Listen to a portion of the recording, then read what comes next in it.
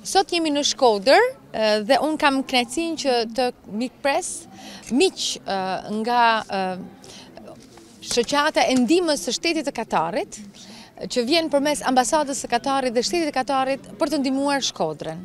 Nuk është bashkëpunimi i parë, është bashkëpunim i vazhdueshëm prej disa vitesh në fakt, që shteti i Katarit përmes organizatës së ndihmës së Katarit bën në Shkodër.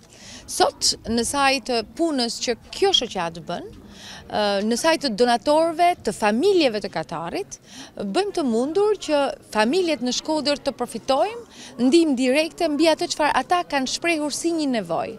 Kështu nga sa u informova unë, një ndër projektet e rëndësishme të shoqatës këtë vit ka qenë ndihma me elektroshtëpiake për rreth 50 familje. Kryesisht janë familje që kanë nevojë të domosdoshme në mungesë të prindërve të cilët ndoshta do të kishin, po të ishin, do të kishin mundësi që të ndihmonin më shumë familjen e vet. Pra bëjmë fjalë për jetimë, të cilët në fakt kanë nevojën më të domosdoshme për t'u ndihmuar. Janë familje nëna kryesisht dhe baballarë edhe fëmijë të cilët do përfitojnë pikërisht nga ndihma që i jepet nga shoqata e ndihmës së Katarit. Njëkohësisht një ndër projektet e tjera që ne po realizojmë sot, bëhet fjalë për 300 familje. Edhe këto janë familje me nevojë të domosdoshme, të varfra, kryesisht dhe që kanë jetimë në familjet e tyre.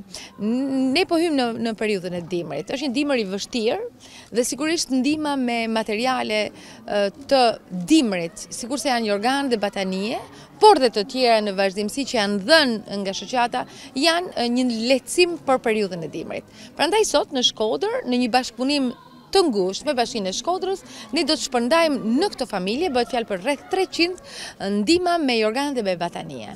Ndihma, sikurse shifni, është e një cilësie të mirë, shumë të mirë, në standard. Bëhet fjalë për ndihmë që i përgjigjet nevojës së shprehur nga këto familje.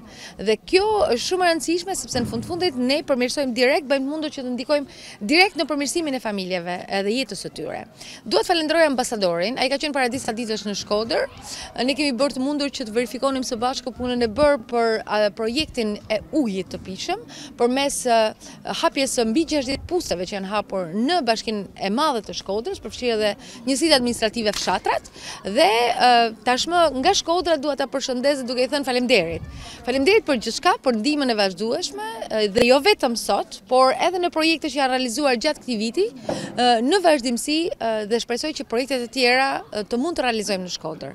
Shkodra ka nevojë, Shkodra ka familje që janë të gatshme që të bashkohen ndihmës së përbashkët për të ndihmuar njëri-tjetrin, e mik- pret këtë, e mirëpret këtë ndihmë dhe sigurisht përmes shoqatës, përmes punës tuaj, Bëjmë të mundur identifikimin e saktë, dërgesën e duhur në vend dhe shpërndarjen në mënyrë transparente në sajë të një marrëveshjeje që ne kemi konkluduar me bashkinë e Shkodrës dhe shoqatën e Katarit.